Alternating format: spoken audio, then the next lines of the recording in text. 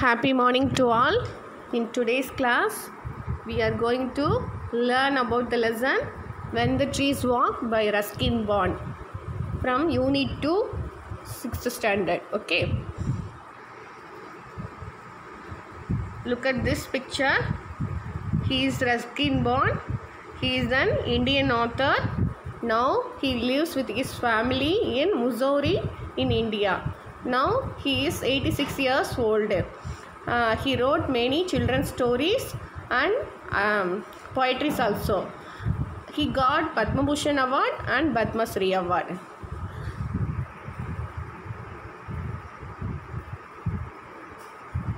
Here you look at this picture. What are the children are doing? Uh, please describe the, their activities in your rough note. Okay.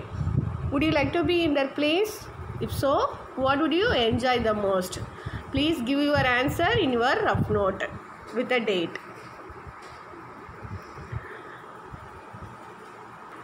Now we going to see the section 1. In section 1, Ruskin Bond tells us while he was sitting with his grandfather on the veranda steps, he noticed a tendril moving slowly towards his grandfather. Then he gives two reasons for the plants moving towards grandfather. The first one is the light and warmth of the sunlight. Okay. And second one is uh, the plants wanted to be near his grandfather. Thus, he tells two reasons for these plants move, uh, moving towards his grandfather. Okay, then he tells us how his grandfather built a bungalow on the outskirts of Dehradun, how he planted trees all around the uh, all around the building. Uh, there he planted lime, mango, orange, and guava, also eucalyptus and jacaranda and Persian lilacs. Okay, then he tells. Look at this picture. This is a tendril. This is a picture of tendril. Okay, this tendril tendril moving slowly towards his grandfather. He noticed. Then he tells us how the peepul tree that had forced its way through the walls of an abandoned outhouse and knocking the bricks down with its vigorous growth. Then uh, he tells the peepul trees are great show-offs and uh, he describes the uh, peepul tree. Okay, then he um, his grandmother was interested in flower, flower gardens that attracted a lot of butterflies. So she likes to growing flower gardens okay? This is section 1 now we're going to see the section 2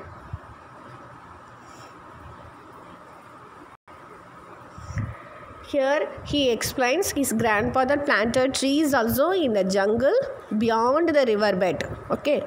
Uh, his grandfather had explained that the birds and animals and humans need more tree in this world okay? And also his grandfather insisted to grow the trees to keep the to keep our world desert away to attack the rain to prevent the banks of rivers from being washed away and also for fruits and flowers and leaf and seed okay? And also timber to uh, people must to must to grow the must grow the plants must grow the trees okay? Uh, these are these points are uh, insisted by ruskin bond's grandfather okay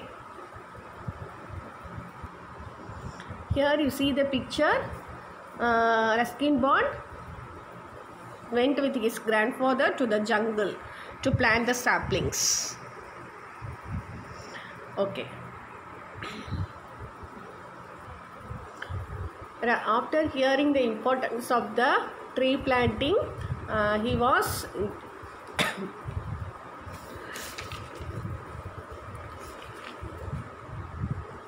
uh, he he was uh, he helped his grandfather in his tree planting with greater enthusiasm.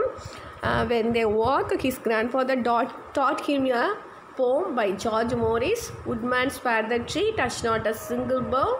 In youth, it sheltered me, and I will protect it now. This song was sung by um, uh, Ruskin Bond's grandfather while they were doing work. Okay, uh, that time his grandfather tells. Uh, uh, we uh, we should replace the every tree uh, that we cut for our personal use otherwise the world will become a desert so um, uh,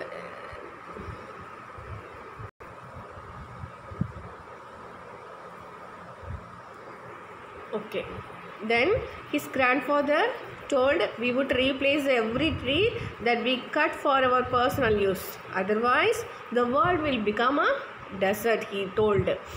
Uh, then they found an island there.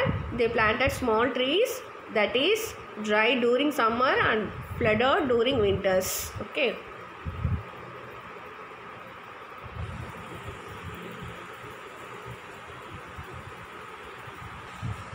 During the Second World War, Ruskin Bond was sent away to the boarding school and also his parents sold the house and went to England. Uh, two or three years later, Ruskin Bond also too went to England. Uh, for several, several years later, he came back to India. Okay. He returned after several years to find that the small island looked like a ba- paradise because of the trees that had planted had multiplied now. Okay, uh, he realized that his grandfather's dream of trees walking again had come true. Uh, that's all. This is what when the trees walked by Ruskin Bond. Okay. Okay, thank you, students. We will meet in next class. Thank you.